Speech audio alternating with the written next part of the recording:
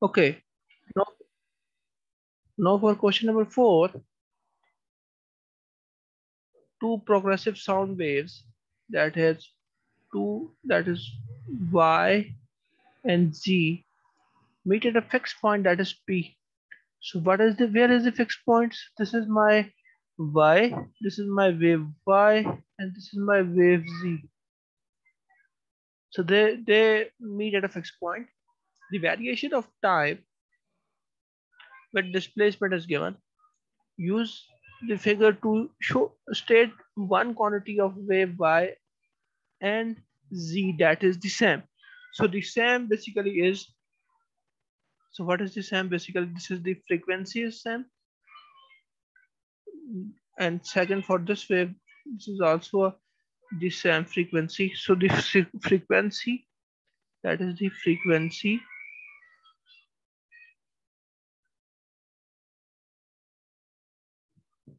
Now second must be when this frequency is same, the time period to complete one oscillation is also same. So the period must be same. Second is the period.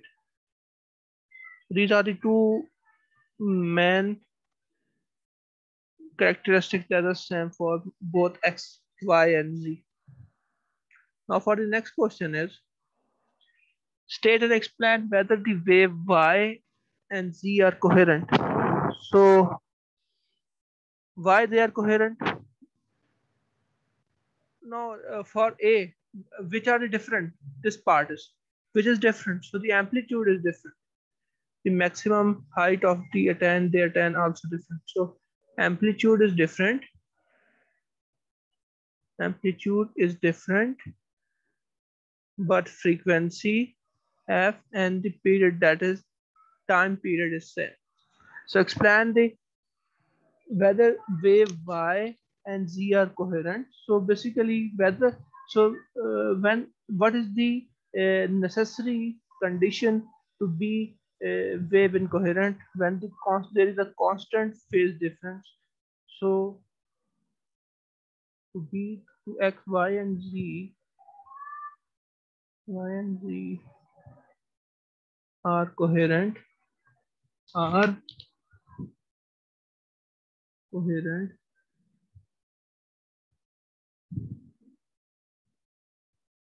coherent when that is the they have constant phase difference is constant phase difference is constant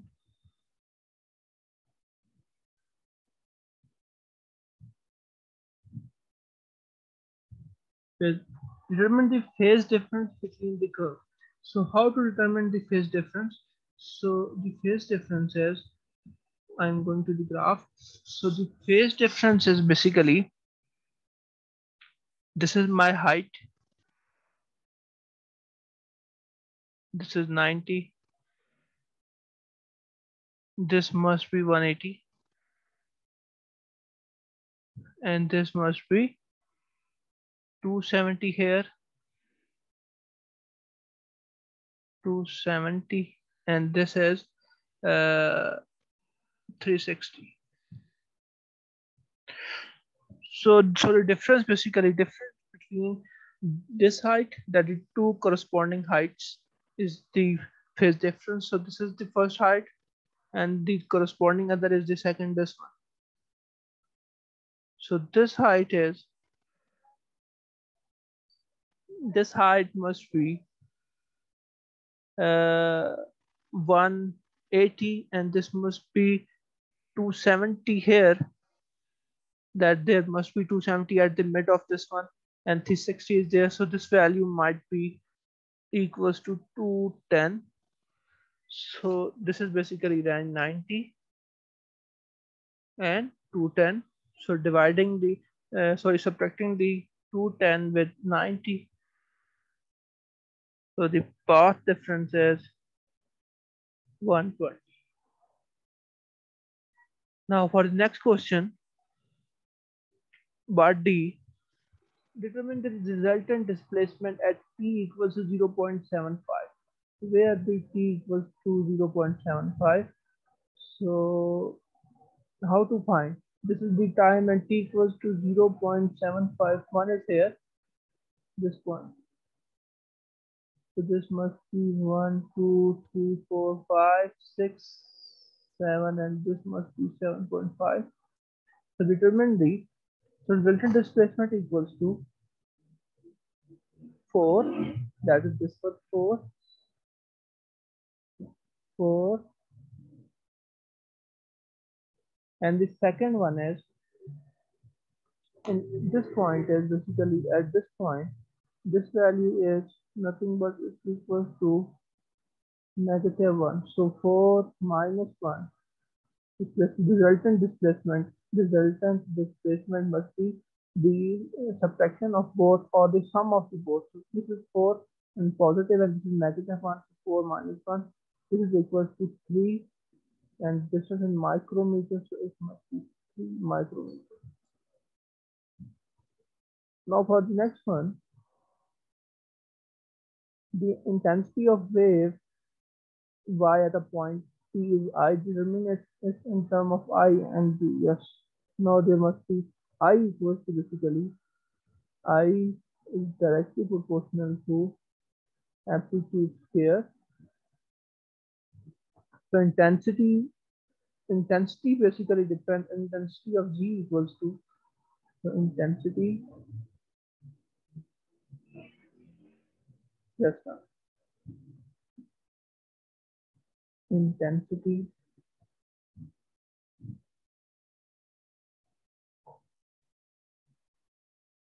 of V equals to 2 square upon 4 square into the value that is i. So where it comes to or 4, so the value comes from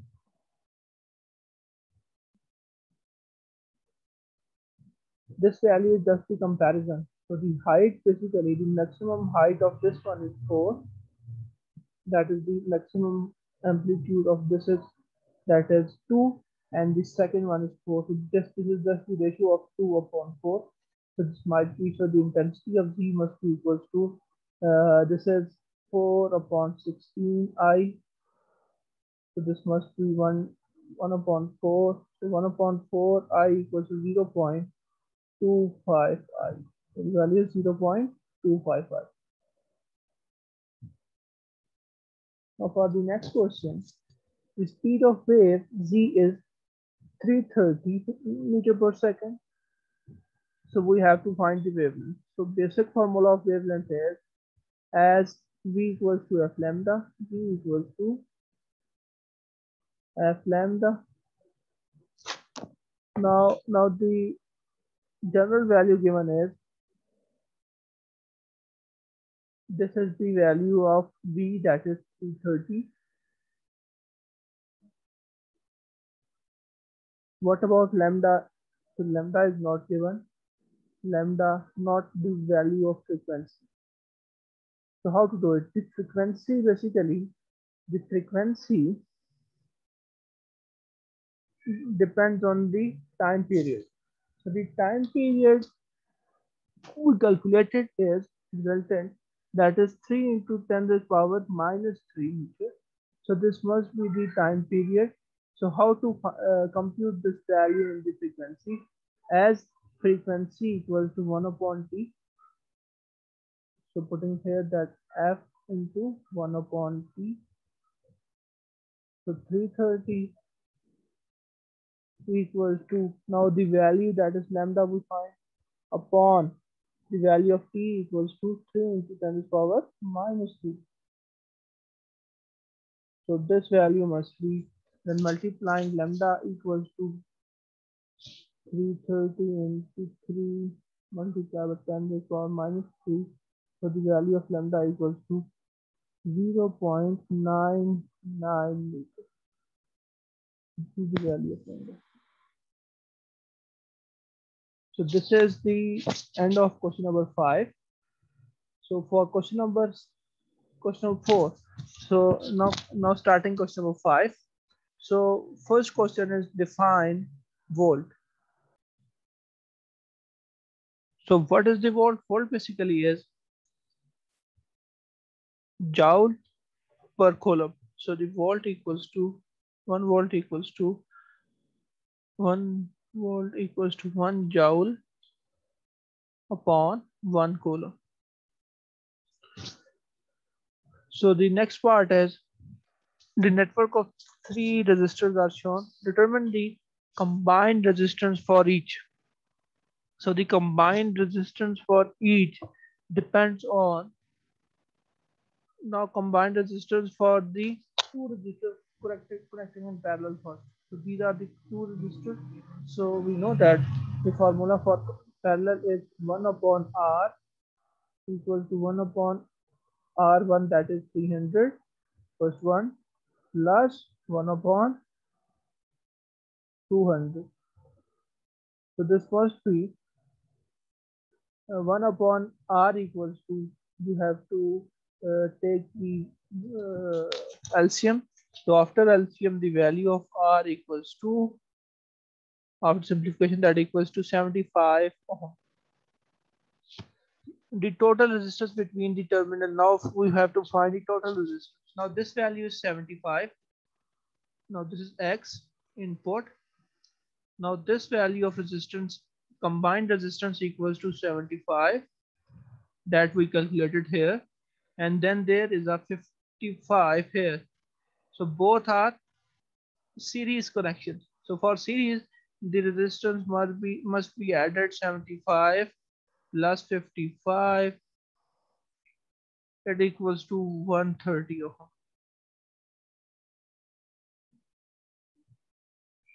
Now for C, calculate the current when the resist oh, uh, resistance is this far. So how to calculate the current? As the value of current equals to, there are basically different formulas.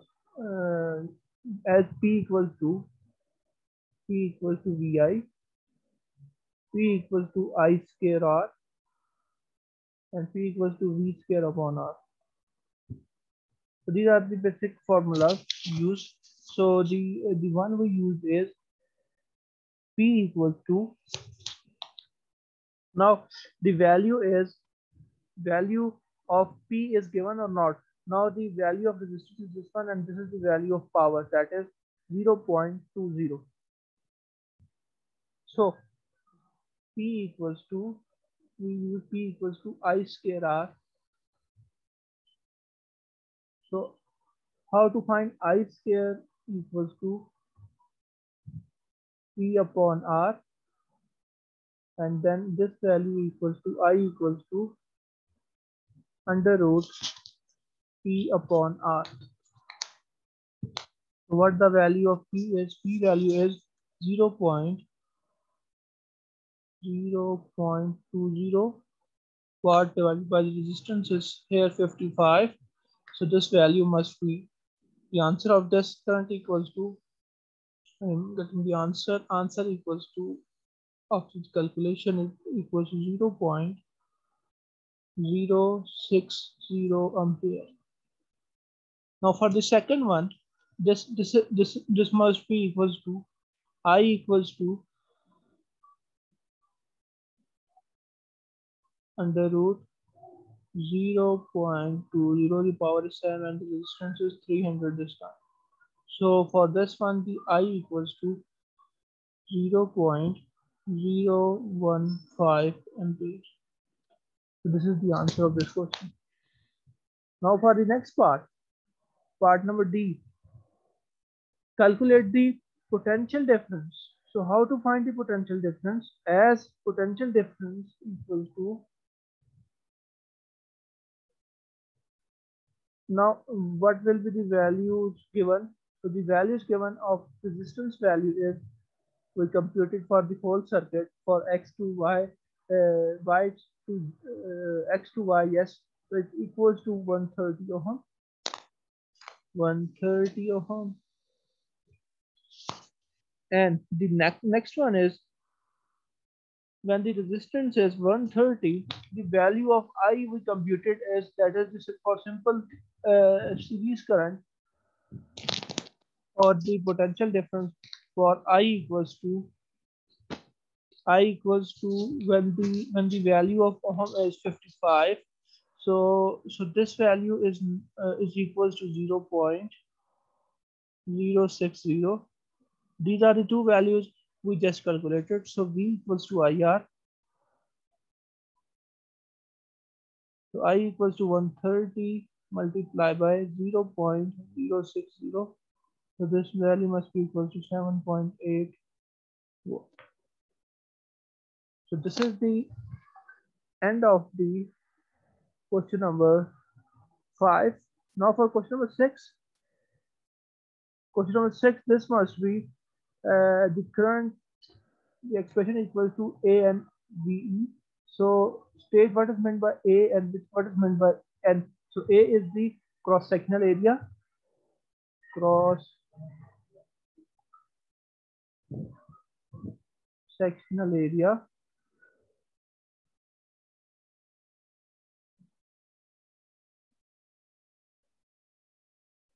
And what is the N? N basically is the number density of free electrons. That is number density, number density of free electron of free electron. So using the determine the value base units of E so the unit of the E equals to, so it must be as I equals to, given as I equals to A, A and VE. So this E equals to I upon A and V. So E must be equals to, now this is ampere. Now the second one is this one, area is meter square. Meter square. Number of density basically is M minus 3. Now the, the value of uh, V basically is the velocity, so it must be meter per second. So this this meter square and this meter one is multiplied that is 2 plus 1 equals to uh, 3 and this will cancel out with m minus 3 so the e equals to a this s s uh, minus 1 is multiplied upwards so it must be as so the e unit is ampere second. Now uh, two lamps are connected parallelly so you have to find the average drift between the uh, free electron in the filament wire of P to the free electron in the filament of wire Q. So how to find how to find this? So for this ratio equals to basically the area. So area that is it depends on area. So the area of Q. So it is basically uh, reciprocal reciprocal of the area. That is, speed is speed is reciprocal of the area. So it means that area of, of Q is upward AQ upon AP. So uh, just computing the value, uh, Q is basically a, a circular, so it pi r square upon the value is now it's two times that has so it must twice the radius so it must have 2 r square. So so because this twice so you have, this must be twice square so it must be pi r square upon 4 pi r square. This pi r square must be so it must be 1 upon 4 so the ratio is 1 upon 4 or 0 0.25 So this is the question number seven. This is the end of the. Now this is a plate f of a beta path of beta particle is here and the separation between is 6 millimeter. So how determine the magnitude and the direction uh, of the force. So magnitude of force, how to find the force as we, I described earlier, the E equals to B upon D or the second for E equals to F upon Q. This is the two fundamental equations to find the value of E. So how to find the value of F? So F equals to the E given that is 4.5 sorry 450 into into the value of that is the value of one electron volt equals to 1.60 into 10 minus 19 and this must be divided by the 6 into 10 is minus 3 so so why to divide 6 uh, 6 into 10 is power minus 3 because the separation is is depend on this one and uh, where to where is the value come? 1.6 because it is a, a, beta particle. So beta particle is an electron. So beta particle this is beta negative so beta particle is electron. So the electron has 1.6 in 10 to the power minus and this is the separation. So also we have to divide with separation separation 2 and uh, where is the 450 so 450 is basically the value of potential that is applied that is this one okay so so uh, this depends on how to find the value of e so just just the comparison of e equals to v upon d or e equals to f upon q so so just comparing that v upon d equals to f upon q so F equals to the basic formula F equals to Q charge V upon D. So this is the formula we use. So after after the multiplication and the system, the value find as 1.2 into 10 raised power minus 14 Newton. And the direction is vertically downward. Now, uh, we have to find the work done. So how to find the work done for, for, for a system? So work done equals to Fs, Fd or EQD. So it depends on what formulas are. Work is equals to Fs or E multiplied by Q multiplied by D. So in this case, it depends on uh, uh, the values must be here. So uh, work done or the second equation, work done equals to work done equals to V into Q. These are the first formula, second, and third. These are the three formulas given. So you, uh, it depends on you uh, whether you choose to uh, find your uh, value of W. So W equals to now W equals to the value of V. I'm using this. So value of V is negative 450 and the q is the beta particle that is 1.6 into 10 raised power minus 19 so it must be equals to the value equals to minus 7.2 into 10 raised power minus 17 joule so this is the uh, uh, answer of w so how the next question is determine the speed of beta particle that is we have to find the value of v so as e equals to half mv square. Now this is kinetic energy is given that this one. So it must be kinetic energy equals to 3.4 into 10 raised power minus 16 equals to 1 upon 2.